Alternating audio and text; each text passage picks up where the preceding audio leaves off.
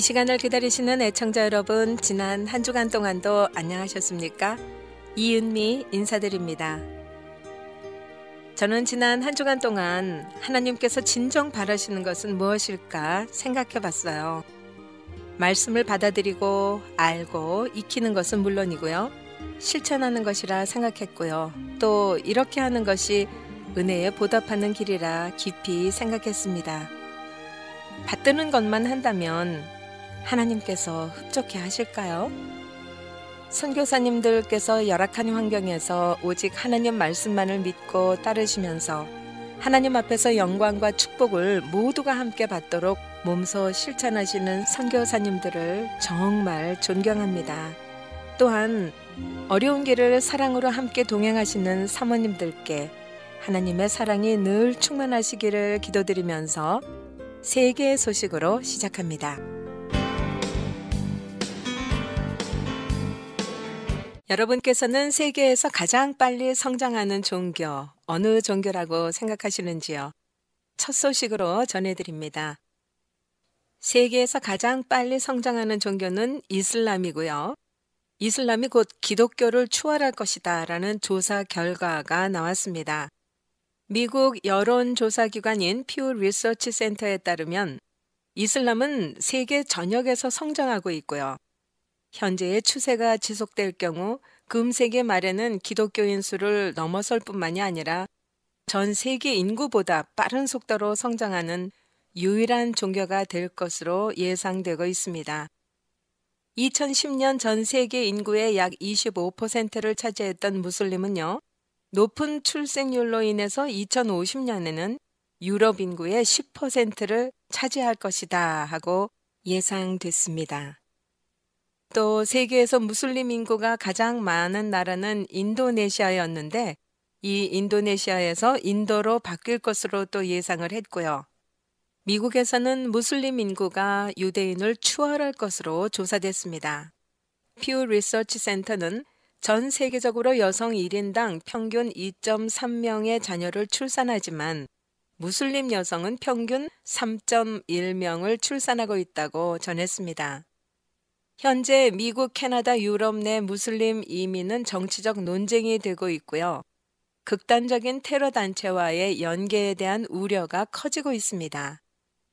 이슬람 전문가인 유해석 선교사는 미국 트럼프 대통령이 취임하자마자 테러 성향이 있는 이슬람 7개국 국민의 미국 입국을 금지하는 행정명령을 추진한 이유는 미국에서 이슬람이 빠르게 성장하고 있기 때문일 것이라고 밝혔습니다.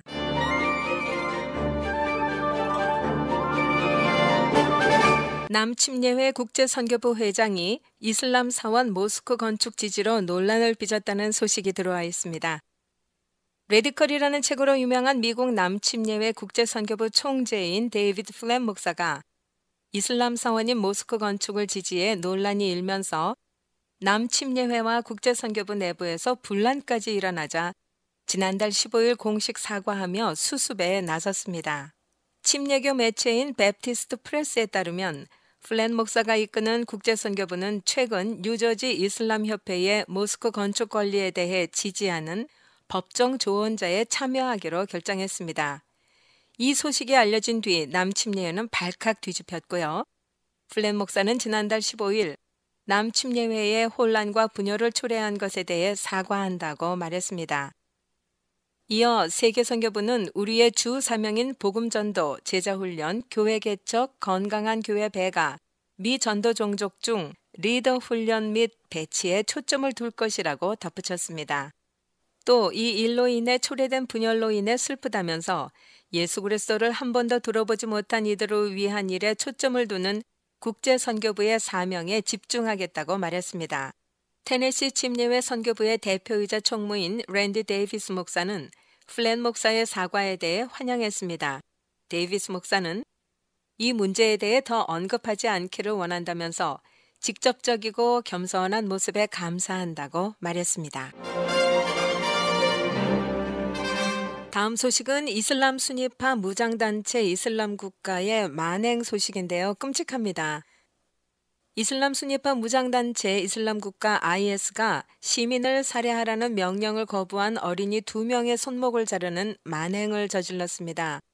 가스펠 헤럴드는 두 명의 인질들을 가족들 앞에서 처형하라는 명령을 거부한 IS 소년병 두 명의 손목을 IS 대원들 중 한 명이 절단했다고 지역 소식통을 인용한 이라크 지역 언론 알수마리아 뉴스를 인용해 보도했습니다. 보도에 따르면 10살에서 12살 사이로 추정되는 소년병들은 니네베 소재 IS 소년병 캠프의 어린이들로 명령에 불복종할 경우 심각한 처벌을 받을 수 있다는 사실을 알고도 인질 총사를 거부했습니다. 그리고 결국에는 IS 대원에 의해 손목이 잘리는 끔찍한 처벌을 받았습니다. 칼리프의 컵스로 알려진 소년병들은 IS의 선전 영상에서 인질들을 처형하는 모습으로 자주 등장해 왔는데요. 이들을 전투병이나 자살 폭탄 테러범으로 사용하기 위해 쇠뇌시키고 훈련해 왔다고 합니다. 하지만 이번에 손목이 절단된 소년병들은 IS의 교육에도 불구하고 세뇌가 되지 않았던 것으로 보입니다.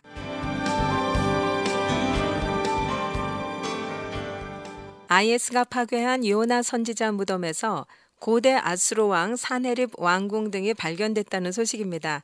성경의 역사성이 입증됐는데요. 이슬람 순위파 무장단체 이슬람 국가 IS에 의해 파괴된 니너베 성경의 니누에죠.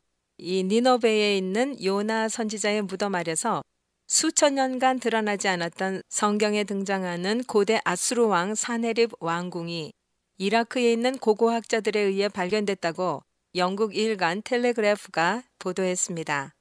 이들은 이라크 해방군이 IS에 의해 점령됐던 모술의 일부를 탈환하자 이전에 IS에 의해 파괴되었던 요나 선지자 무덤 현장에 대한 조사에 착수했다가 성경의 역사적 사실성을 입증할 수 있는 중요한 증거를 찾게 됐습니다.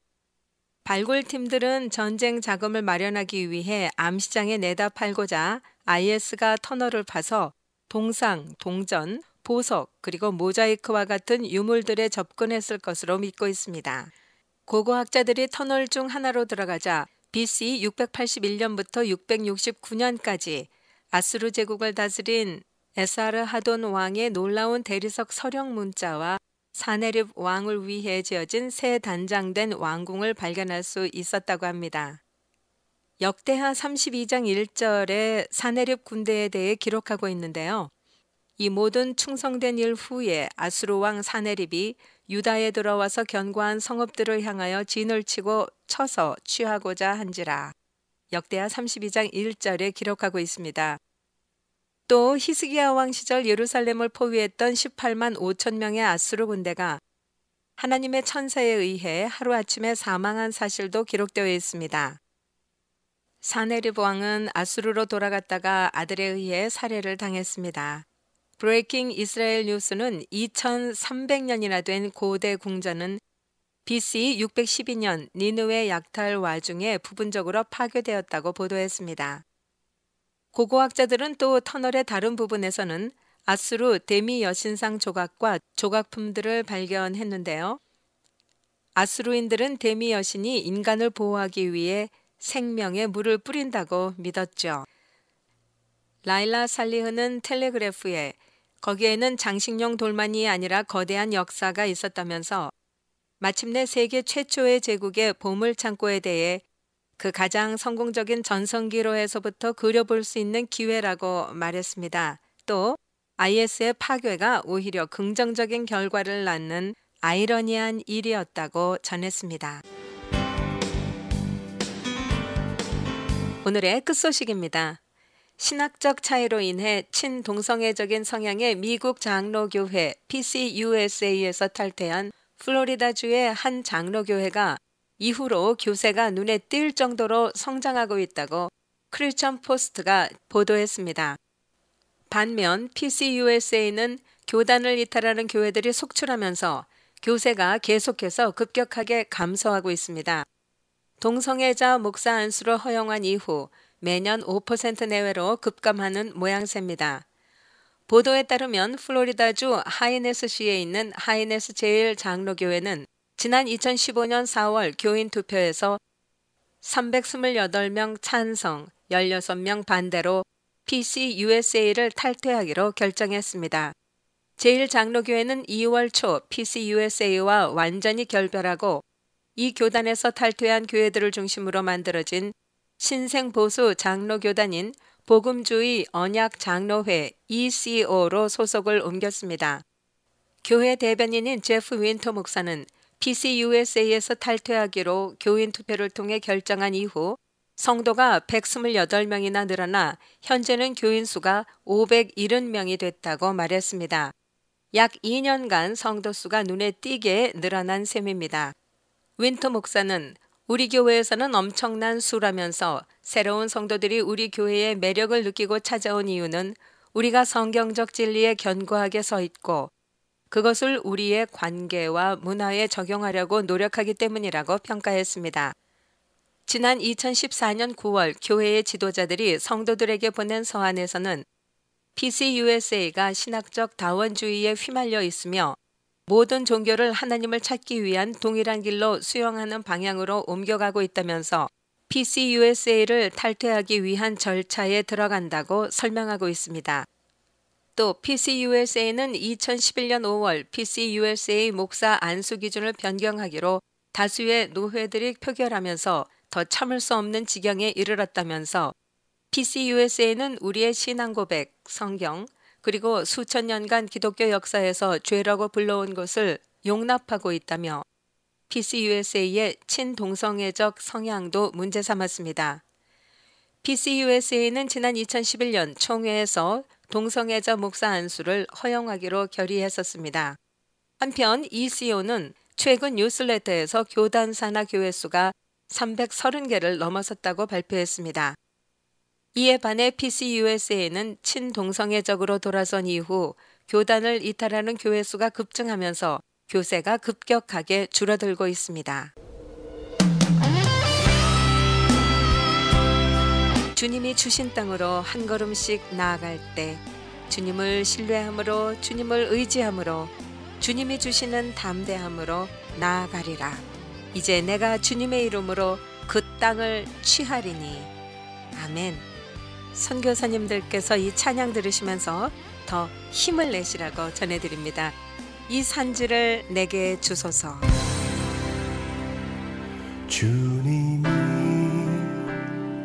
주신 땅으로 한 걸음씩 나아갈 때에 수많은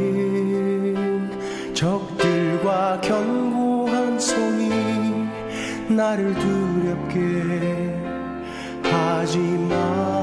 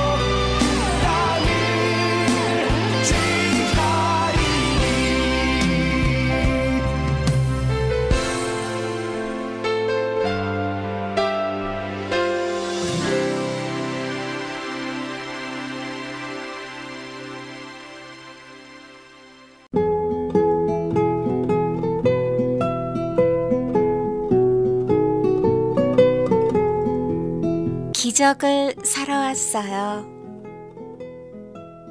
여보, 우리 앤드류 이제 죽은 거나 다름없소. 수술비가 이 작은 집을 팔아도 모자라니 이를 어쩌면 좋을까? 아, 오직 기적만이 앤드류를 살릴 수 있을 것 같소. 부모의 대화를 엿듣던 어린 여자아이는 자기가 끔찍이도 사랑하는 남동생을 기적만이 살릴 수 있다는 아빠의 말을 되새기면서 자기 방으로 들어갔습니다. 그리고 깊숙한 곳에 숨겨놓은 유리병 하나를 꺼냈어요.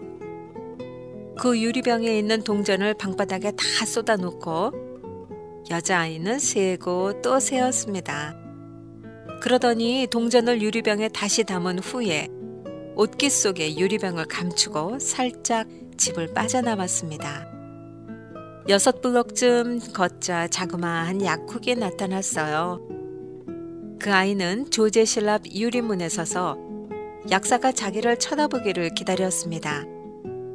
그러나 약사는 누군가와 대화를 하느라고 바빠서 그 여자아이를 쳐다보지도 않는 거였습니다. 할 수 없이 그 아이는 동전 한 잎을 유리병에서 꺼내 유리창을 두들겼습니다. 낮은 유리창 너머로 목을 내민 약사는 귀찮다는 어조로 대꾸했습니다. 넌 뭘 원하니? 나는 지금 오랜만에 만난 내 형님과 얘기를 하고 있는 거야. 제 동생이 많이 아파요. 전 기적을 사러 왔어요. 뭐라고? 약사가 다시 물었습니다.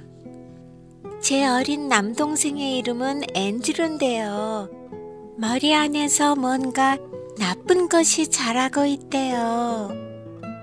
아빠가 그러시는데요. 기적만이 제 동생을 살릴 수가 있대요. 그런데 그 기적은 얼만가요? 우리 가게에서는 기적을 팔지 않는단다. 안 됐다만 나는 너를 도울 수가 없겠구나. 약사는 약간 부드러워진 목소리로 대답을 했습니다. 아저씨, 전 기적 값을 갖고 왔어요. 만일 모자라면 더 가져올게요. 기적의 값이 얼마예요?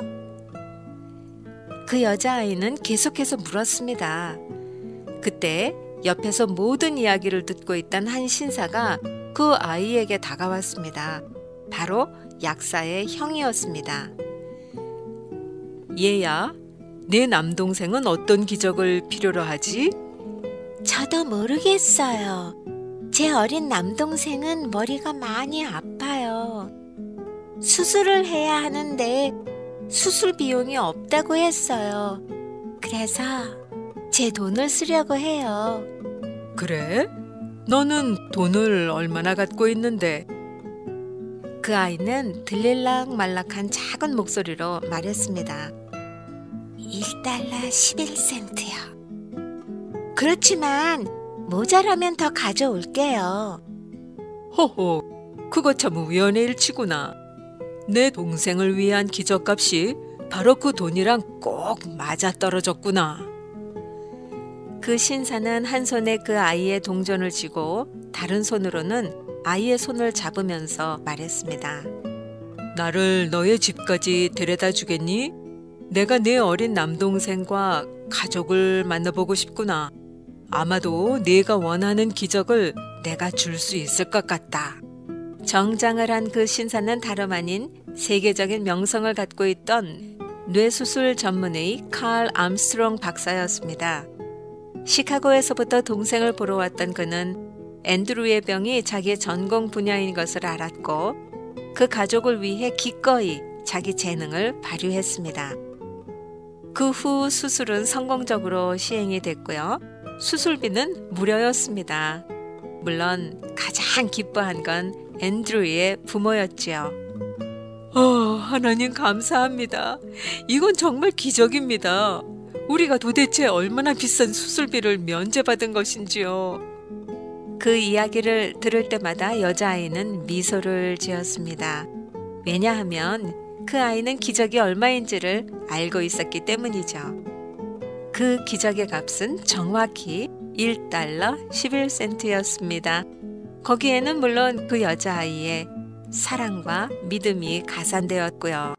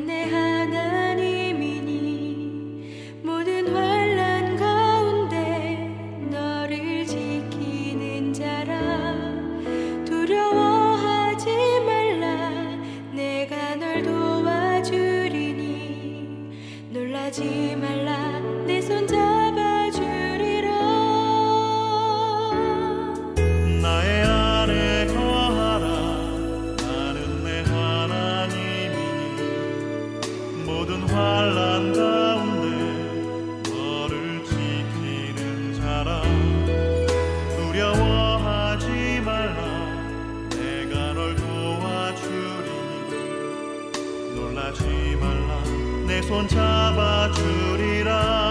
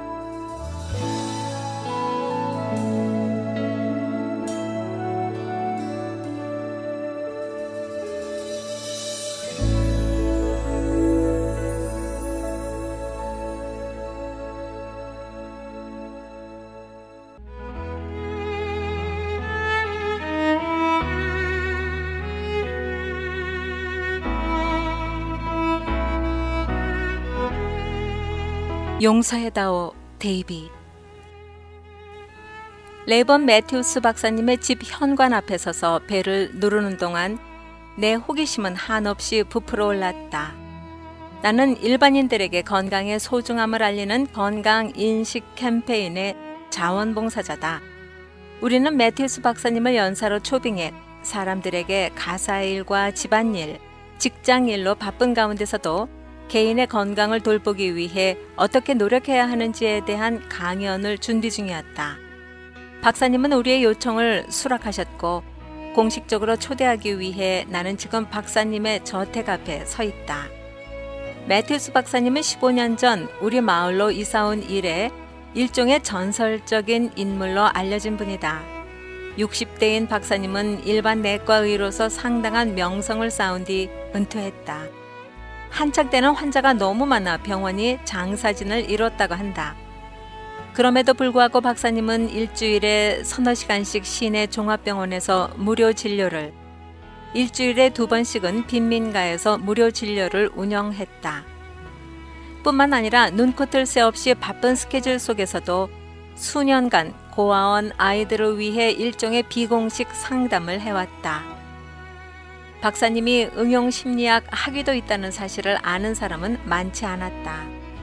이제 나이가 나이인 만큼 진료는 그만두었지만 박사님은 여전히 여러 자원봉사에 많은 시간을 할애하고 있다. 현재는 주정부 차원에서 아이들을 돕는 복지과와 협력해서 두 군데의 고아원에서 아동 상담을 하고 있다. 또한 시내 병원을 방문해 환자들, 특히 방문객이 찾아오지 않는 노인 환자들의 말벗이 되어준다. 사모님 또한 나름대로 헌신적인 활동을 해오신 분이다. 사모님은 지금까지도 일주일에 사흘씩 출산센터에서 자원봉사자로 일하며 조산 아들을 돌본다.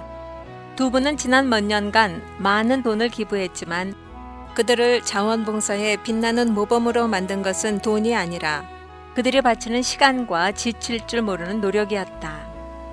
나는 박사님 댁으로 들어가 두 분과 즐거운 만남을 가졌다. 공식 일정에 대한 내 설명이 끝나자 두 분은 고맙게도 차를 마시고 가라고 권했다. 우리의 대화는 공동의 관심사를 따라 여러 영역으로 이어졌다. 나는 박사님께 오랫동안 궁금했던 질문을 하나 던졌다. 박사님, 언제부터 자원봉사 활동을 시작하셨죠? 그러니까 어떤 영감이나 계기가 있었던 거예요? 아무리 선하다 해도 인간에게는 누구나 허영심이 있게 마련이며 나는 이런 질문에서 박사님의 허영심이 드러나리라 생각했다. 나는 의학을 넘어서 더 위대한 일을 하라는 영감을 받았다거나 자신보다 불운한 사람들을 돕고 싶었다는 등의 고매한 발언이 나오기를 기다렸다. 그러나 아무런 대답도 들리지 않았다.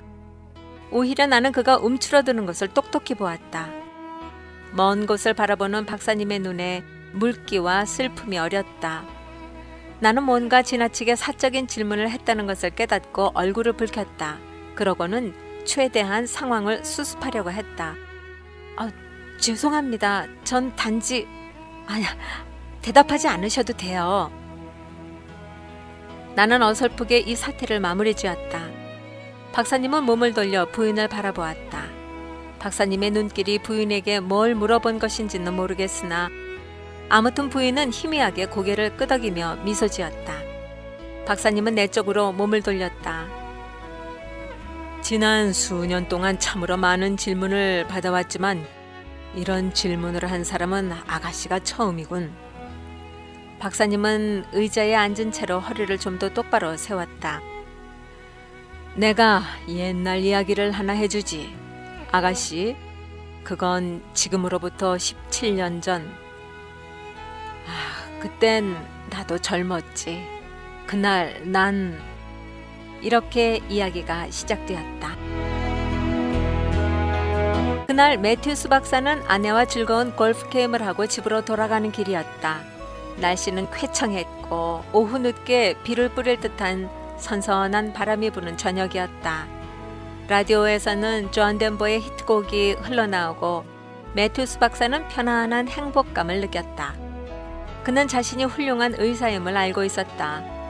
성업 중인 병원은 지난 몇 년 사이 크게 확장됐고 환자는 엄청나게 늘었다.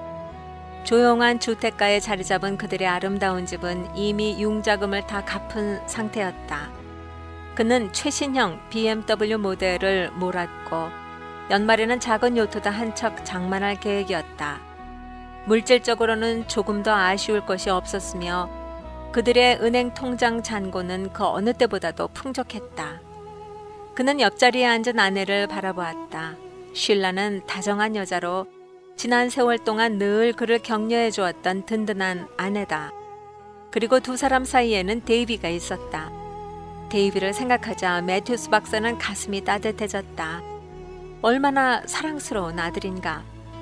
지난 몇 년간 그는 자신들이 더 이상 아이를 가질 수 없다는 사실에 이따금씩 마음이 아팠지만 이런 아들을 가졌다는 건 분명 축복이었다. 데이비는 사랑스러운 아이였으며 지금은 어느 부모든 자랑스러워할 만한 청년으로 자라났다. 그렇다. 그에게 인생은 살만했다. 가끔씩 자기 인생의 목적이 다른 사람을 돕는 것보다는 너무 물질적인 것에만 치우쳐 있다는 의심이 그를 괴롭혔지만 그는 그런 의심을 털어버렸다. 이 세상이 고통받는 것도 아닐 터였다. 그는 집 바로 전 구간인 카터 스트리트로 접어들었다. 잠시 후 뭔가 잘못되었다는 느낌이 들었다. 토요일 저녁치고는 거리가 너무 붐볐던 것이다. 앞쪽에서 소동이 일어난 것 같았다. 오랜 경험으로 미루어 박사는 문제가 무엇인지 짐작할 수 있었다. 한 친절한 보행자가 그의 추측을 확인시켜 주었다. 사고예요. 몇 분 전에 일어났다네요. 엄청 심각한가 봐요. 박사는 속으로 욕을 했다. 한동안은 거리가 봉쇄되겠군. 그가 이 교통 대란 속을 빠져나가려고 하자 아내가 놀란 눈으로 바라보았다. 어, 무슨 일인지 안 가볼 거예요? 다친 사람이 있을 텐데. 그냥 내버려 두어. 경찰과 의료진들이 곧 올 텐데 뭐. 그 사람들이 알아서 할 거야. 하지만 괜히 끼어들었다가는 빠져나오기만 힘들다고. 그는 단호하게 말했다. 너무나 혼잡해. 그냥 집에 갑시다. 지금쯤이면 데이비도 와 있을 거야. 아들의 18번째 생일이 매일 있는 건 아니잖아? 게다가 언제 비가 쏟아질지도 몰라. 그가 차를 후진시켜 옆길로 빠져나가는 동안 아내는 침묵을 지켰다. 어휴, 살았다. 이제야 그 난리법석에서 빠져나왔네. 집 앞 차도에 차를 세우며 그가 말했다. 데이비는 아직 집에 돌아와 있지 않았다. 그는 아들과 함께 보낼 안락한 저녁을 고대하며 거실에 있는 안락 의자에 몸을 묻었다. 그때 반갑지 않은 전화벨이 울렸다. 어쨌거나 그는 전화를 받았다. 박사님, 저 말콤입니다. 지금 당장 노스밸리 종합병원으로 와주셔야겠습니다. 그는 신음했다. 아, 오늘은 정말 일진이 꼬이는군. 하지만 겉으로는 아무 내색도 하지 않았다. 알았네. 무슨 응급 상황이라도 생긴 건가? 말콤이 머뭇거렸다. 죄송합니다만 그보다 더 나쁜 일입니다. 그가 조심스럽게 덧붙였다. 아드님 일입니다. 뭐? 우리 아들? 네, 박사님. 데이비가 카터 스트리트에서 교통사고를 당했습니다. 카터 스트리트라고? 좀 전에 빠져나온 사고 현장을 떠올리자 박사는 온몸에 피가 얼어붙는 것 같았다. 데이비는 무사한가? 그의 목소리는 떨리고 있었다. 아드님이 병원에 도착했을 때는 이미 피를 너무 많이 흘린 뒤였습니다. 또다시 어색한 침묵이 흘렀다. 죄송합니다, 박사님. 아드님은 몇 분 전에 숨을 거두었습니다. 레번 매튜스는 온 세상이 산산조각으로 부서지는 것을 느끼며 꼼짝 않고 서 있었다. 그러자 말콤이 말을 이었다. 정말로 유감입니다. 박사님, 아무도 손을 쓰지 않았나 봅니다.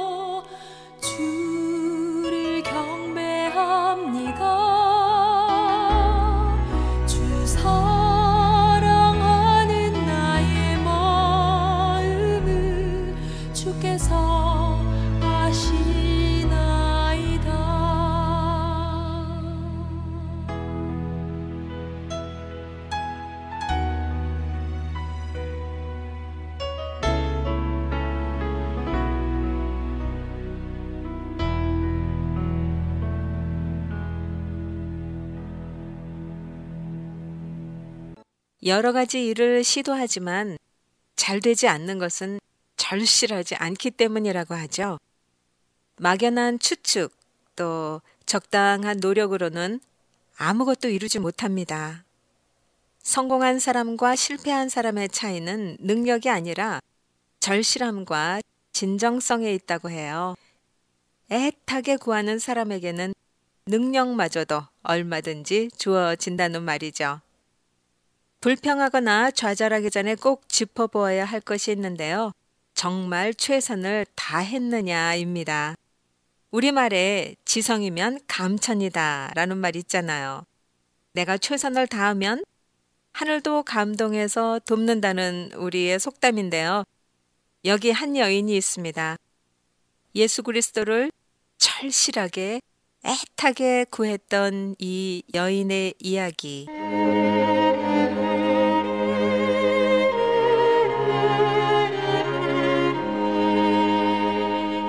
그가 나의 이름을 불러주었을 때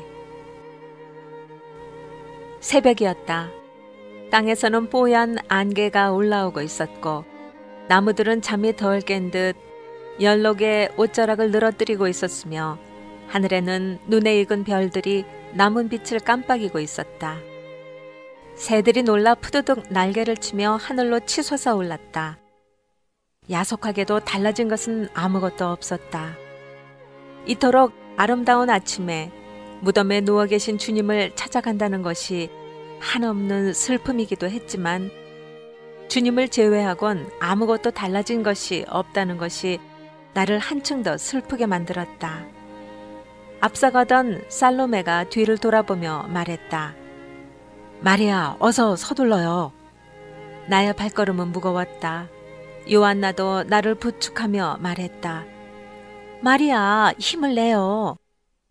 주님께서 돌아가시기 전부터 나는 물 한 모금, 빵 한 조각을 먹질 못했다. 연거푸 이틀 동안 한순간도 눈을 붙이지 못했다. 눈물도 나오지 않았다. 슬픔이 지나치면 눈물도 흘릴 수 없다는 사실을 경험하게 되었던 것이다. 나의 몸은 지칠 대로 지쳐 와르르 무너지기 직전이었다. 그러나 나를 정말 힘들게 만든 것은 슬픔이 아니었다. 그것은 분노였다. 주님은 죄 없이 십자가에 달리셨고 세계의 대못은 무자비하게 그분의 몸을 파고들었다. 나는 그 광경을 바라볼 수 없어서 눈을 감았다. 마음속으로 하나님께 빌 수밖에 없는 처지였다. 여호와 하나님이시여, 이 악한 족속들을 멸망시켜 주시옵소서. 지금 당장 내려오셔서 박살을 내 주시옵소서. 그때 그분의 낮은 비명은 나의 가슴을 찢어 놓았다. 엘리 엘리 라마 사박다니 당신의 아들이 나의 하나님 나의 하나님 어찌하여 나를 버리시나이까 라고 절규하고 있는데도 하나님은 침묵하시다니 땅도 침묵했다. 여기저기서 사람들의 조롱 소리만이 터져나올 뿐이었다. 저 사람이 엘리야를 부르는구만. 어디에 엘리야가 와서 구원하나 보자고. 나는 십자가에 매달린 주님을 바라볼 수 없어서 눈을 감고 부르짖었다. 하나님, 불을 내려 저 악한 자들을 태우소서. 당신은 하나님이시며 예수님은 당신의 아들이라는 것을 증명해 주소서. 그들을 심판해 주소서, 제발. 나의 절규가 채 끝나기도 전에 꺼져가는 신음소리가 들려왔다. 내가 목이 마르다. 나는 그를 향해서 내달렸다. 나의 피를 짜서라도 그의 목마름을 해결해 주어야 한다고 생각했다. 급히 뛰다 보니 머리에 얹었던 수건이 날아갔다. 내가 그분의 발밑에 도착하기도 전에 어떤 우악스런 손이 나를 가로막았다. 아하, 이거 막달라 말이야군. 웬일이신가? 여기서 만나다니 저 촌놈의 추종자라도 됐다는 건가? 놈이었다. 나를 능욕하고 인간 이하의 벌레처럼 취급했던 사람. 이곳에서 만날 줄이야. 갑자기 내 속에서 억누를 수 없는 분노가 불길처럼 타올랐다. 그러나 그 불길은 놈을 향한 것이 아니었는지도 모른다. 사실은 예수님을 향해 침묵하시는 하나님을 향한 것이었는지도 모른다. 예수님의 죽음을 지켜보고만 있는 야속한 하나님. 서서히 내 속에 하나님에 대한 복수심이 타오르기 시작했다. 그러나 인간이 어떻게 하나님에게 복수를 할 수 있단 말인가? 문득 예수님의 공중에 나는 새, 꽃 한 송이도 하나님의 허락 없이는 떨어지지 않는다는 말씀이 떠올랐다. 그리고 나는 하나님의 그 허락을 거역하기로 했다. 자살. 그것보다 확실한 거역은 없으리라.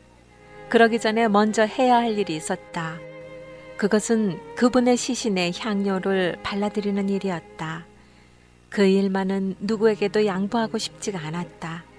아니, 그분의 시신에 누군가가 손을 댄다면 용서할 수 없을 것 같았다.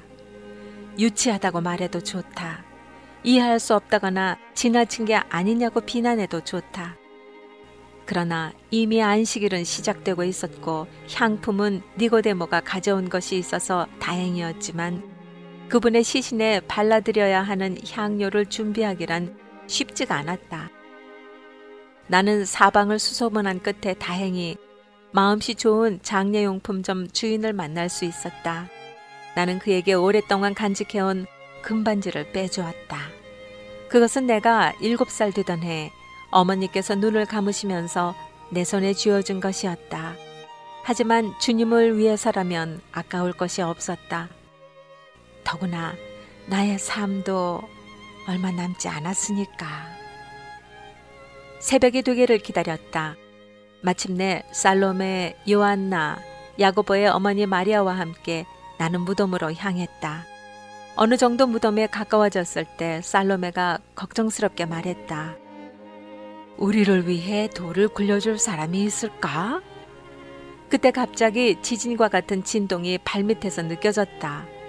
그 바람에 새 한 마리가 푸드득 날아갔다. 살로메가 요한나에게 물었다. 방금 지진이 일어난 것 같죠? 주님의 무덤에는 아무 문제가 없을까요? 요셉의 바위 무덤인걸요. 곧 우리는 무덤에 도달했다. 살로메가 소리쳤다. 저것 봐요. 무덤이 열려 있어요. 어? 정말이네. 무덤을 지키던 병사들은 어디로 간 거지? 야고보의 어머니 마리아도 맞장구를 쳤다. 무덤을 들여다보았다. 정말 비어 있었다.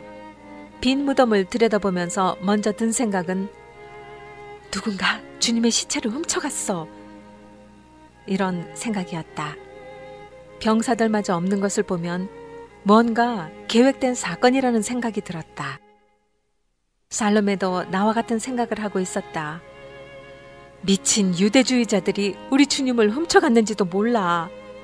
마음이 약한 요한나는 벌써 눈물을 글썽이며 말했다. 어쩌면 좋아. 주님을 까마귀들이 파먹도록 사막에 내다버린 것은 아닐까? 아, 어쩌면 좋아. 어서 제자들에게 알리는 것이 좋겠어요. 우리가 막 돌아서려고 하는데 그때 굴 안에서 어떤 목소리가 들렸다. 너희가 십자가에 못 박힌 예수님을 찾고 있는 모양이구나. 그분은 전에 말씀하신 대로 살아나셨다. 우리는 주님의 시체를 유기한 무리 중에 하나가 우리를 조롱하고 있는 것이라고 단정했다. 우리는 뒤도 돌아보지 않고 제자들이 머물러 있는 다락방으로 턱에 숨이 닿도록 달렸다. 다른 제자들은 어딜 갔는지 베드로와 요한 둘뿐이었다. 우리의 말을 듣자 베드로가 먼저 자리를 박차고 일어섰고 다음은 요한이었다. 우리가 무덤으로 다시 돌아왔을 때 요한은 손을 비비며 무덤을 들여다보고 있었고 베드로는 막 무덤 속으로 들어서고 있었다. 우리는 두 제자를 따라 들어갔다. 달라진 것은 없었다. 무덤은 비어 있었고 예수님의 몸을 감쌌던 세마포는 가지런히 개켜서 한 곳에 놓여 있었다. 머리를 쌌던 수건은 다른 곳에 개켜 있는 것이 눈에 들어왔다. 요한이 고개를 갸우뚱하며 말했다. 정말 이상한 일이군. 누군가가 시체로 훔쳐갔다면 이렇게 세마포를 개어 놓았을까? 베드로가 말했다. 어떤 못된 놈들이 주님을 훔쳐간 것이 틀림없어. 요한, 좀 짚히는 게 없나? 그 늙은 여우가 지시한 것은 아닐까? 일단 돌아가서 다들 모이면 대책을 논의하세. 베드로와 요한은 급히 돌아갔다. 그들이 돌아간 후 살롬의 요한나 그리고 야고보의 어머니 마리아도 차례로 자리를 떴다. 그러나 나는 결코 그 자리를 뜰 수가 없었다. 어느덧 해는 하늘에 솟아 있었다. 새들은 언제나 그랬던 것처럼 노래했다. 문득 나 홀로 남겨졌다는 생각이 가슴속 깊이 파고들었다. 예수님이 못 견딜 만큼 그리워졌다. 그와 함께 했던 1년 반 동안의 꿈 같은 세월이 주마등처럼 떠올랐다가 사라졌다. 단 한순간이라도 그분과 함께 걸으며 말씀을 들을 수만 있다면 당장 죽어도 여한이 없을 것 같았다. 터져나오는 울음을 참을 수가 없었다. 일단 울음이 터지자 마치 내 속에 그동안 응축되었던 슬픔이 한순간에 쏟아져 나오려는 듯 걷잡을 수가 없게 됐다. 눈물이 볼을 타고 내려 목을 적시고 옷깃을 적셨다. 그분을 내게서 빼앗아간 하나님이 한없이 원망스러웠다. 이제 모든 것이 끝났다는 생각이 들었다. 아, 향녀도 이제는 아무 쓸데가 없어졌어. 아, 내가 해야 할 마지막 일은 절벽에 가서 몸을 던지는 것 뿐이야. 그 슬픈 결심을 실행에 옮기려고 발걸음을 옮기려다 마지막으로 그분께서 누워 계셨던 자리라도 한 번 더 보아야겠다는 생각이 들었다. 그리고 안으로 들어갔다. 순간 나는 하마터면 비명을 지를 뻔했다. 흰 옷을 입은 사람 둘이 하나는 이쪽 끝에 또 하나는 저쪽 끝에 앉아 있는 것이었다. 그들은 내가 슬픔에 젖어 있는 사이에 무덤 안으로 들어온 것인지도 모른다. 혹은 새벽에 보았던 그 사람들이 무덤 안쪽으로 숨어서 우리의 동정을 살피다가 내가 혼자 남게 되자 모습을 드러낸 것인지도 모른다. 어쩌면 그들은 주님의 몸을 감쌌던 세마포와 머리를 쌌던 수건을 가지러 왔는지도 모른다. 그들은 주님의 시체를 훔쳐간 사람들과 틀림없이 어떤 관련이 있을 것이라는 확신이 들었다. 어, 저들에게 애원해 볼까? 주님의 시신이 있는 곳을 말해줄지도 몰라. 그러나 내가 입을 열기 전에 그들 중 한 사람이 내게 먼저 물었다. 여자여, 왜 우느냐? 나는 그들에게 간절한 마음으로 부탁했다. 누가 주님의 시체를 가져갔는데 어디에 두었는지 모르겠습니다. 말을 마쳤을 때 나는 나의 뒤쪽에서 어떤 인기척을 느꼈다. 무덤의 입구, 뒤를 돌아보려는 순간 양털처럼 부드럽고 향기보다 더 그윽한 음성이 나를 휘감았다. 마리아야. 너무도 친근한 음성이었다. 마리아야. 그러나 그것이 나를 부르는 것이라고 생각하지 못했다. 과연 누가 나의 이름을 이렇게 부드럽고 따뜻하게 불러줄 수 있단 말인가? 마리아야. 다시 내 이름이 불리워졌다. 고개를 들었다. 그의 머리칼은 햇빛처럼 부드러웠고 그의 눈은 깊고 푸르렀다. 그의 눈은 온유하고 겸손했다. 그가 나의 눈을 들여다보았다. 다음 순간 그가 내 속으로 들어왔다는 느낌이 들었다. 그 순간 내 속에서 다시 미친 바다처럼 뛰놀던 일곱 귀신의 세력이 힘을 잃고 떠나갔다. 나의 심장이 빠르게 고동쳤다.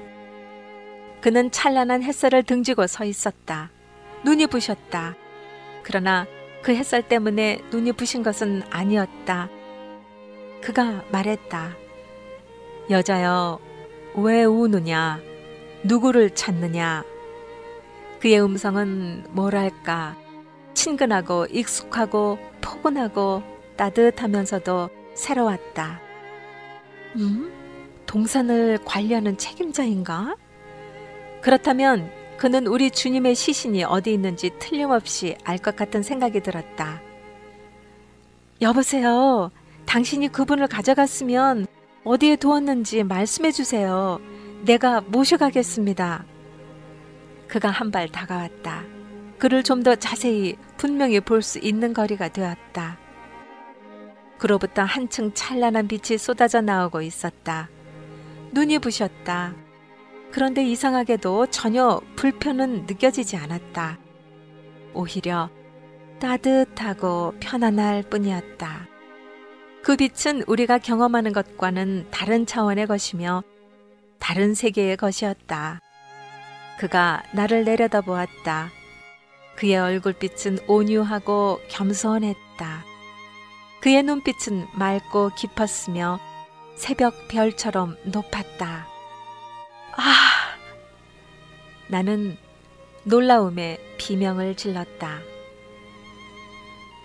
주님이셨다. 나의 영혼에 찬란한 빛이 쏟아져 들어왔다.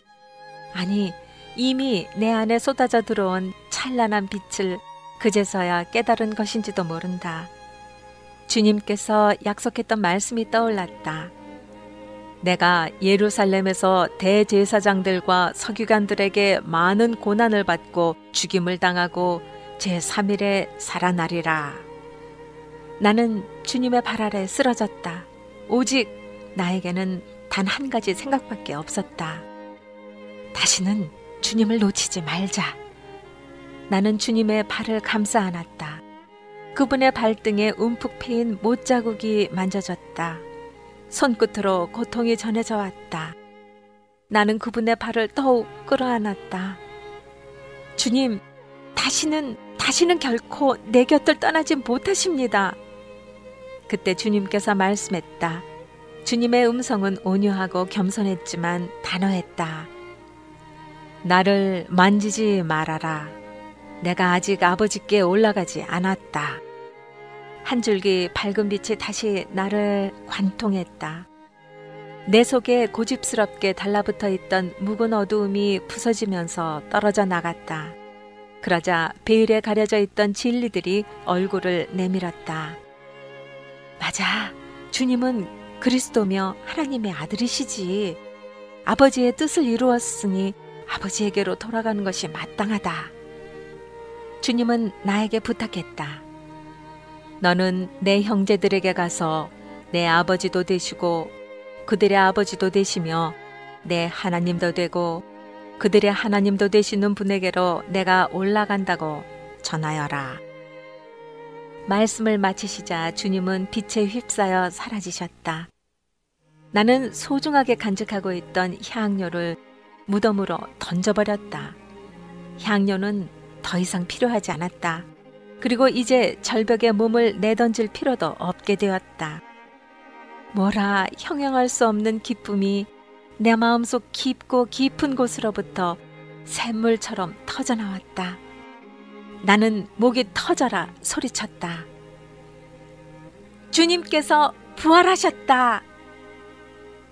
그리고 나도 다시 산 것이다.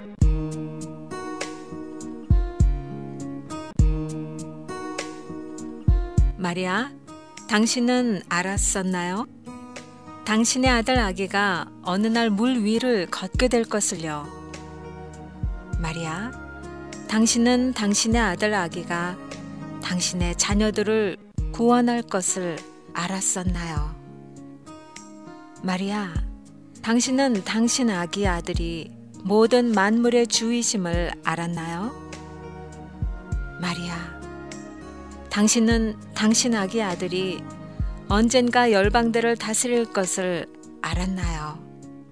당신은 당신 아기 아들이 하늘의 완전한 어린 양임을 알았나요? 당신이 품으면서 잠자고 있는 아기가 그 크신 여호와이심을 Mary, do you know? 마리아, 당신은 알고 있었나요? 오늘의 끝곡입니다. 지금까지 이은미였습니다. 다음 주 시간까지 안녕히 계십시오. Mary, did you know that your baby boy would one day walk on water? Mary, did you know that your baby boy would save our sons and daughters? Did you know that your baby boy has come to make you new? This child that you delivered will soon deliver you. Mary, did you know that your baby boy will give sight to a blind man? Mary, did you know that your baby boy will calm the storm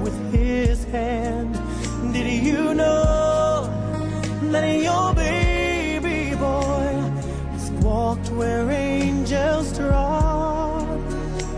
When you kiss your little